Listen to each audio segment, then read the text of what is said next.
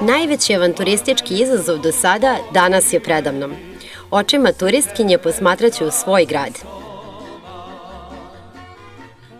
Ja sam Kosta, ovo je Serbian Adventures način da upoznate Šabac. Dobrodošli! Šabac iz novog ugla predstavit će mi Ana – Nećete upoznati vodiča koji poetičnije govori o lokalitetima i većeg zaljubljenika u obližnju planinu Cer. Prvo me vodi do gradske biblioteke. Biblioteka Šabačka danas je jedna od najmodernijih u Srbiji. Prednjače digitalizacijama i u periodu kada se gradilo bila ispred svog vremena. Iako danas ima bibliotečku funkciju, ova građevina sazidana je kao vladičanski dvor, a nakon razrušenja crkve u Prvom svetskom ratu u njoj su se obavljale i duhovne službe. Prelazimo na drugu stranu Masarikove ulice gde nas čekaju širom otvorena vrata Narodnog muzeja.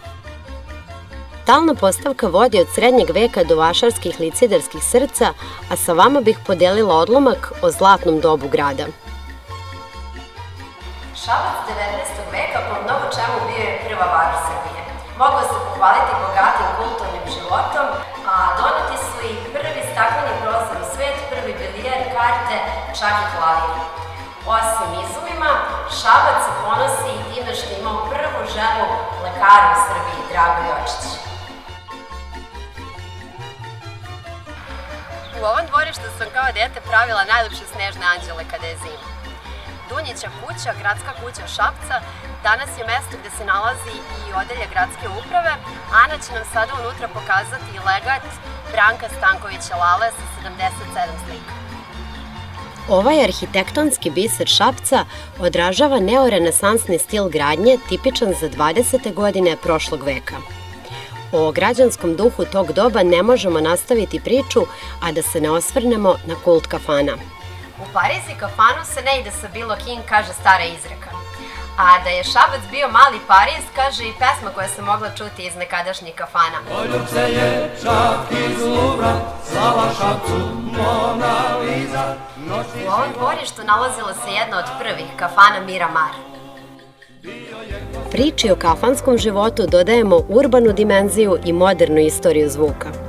Stižemo na ručak kod Dejana u prijatan, ručno dekorisan ambijent. Nakon slatkog predaha rastajemo se sa domaćinom i produžavamo tamo gde zalazak sunca bar duplo vredi. Stari grad na reci Savi.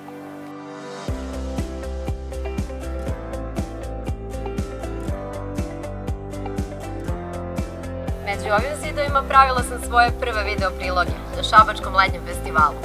Šabačka tvrđava jedan je od glavnih kulturno-istorijskih simbola grada, a sagradio je u 15. veku sultan Mehmed II.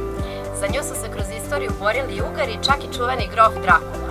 A danas je zajedno sa gradskom plažom omiljeno mesto svih Šapčana u vrelim letnjim danima i nezaboravnim noćima. Je Šabac kroz ovu priču postao bar upola drag koliko je meni. Priliku da ga upoznate sa Anom imate rezervacijom ture na sajtu Serbian Adventuresa. Pratite nas i dalje za nove avanture. Vidimo se uskoro.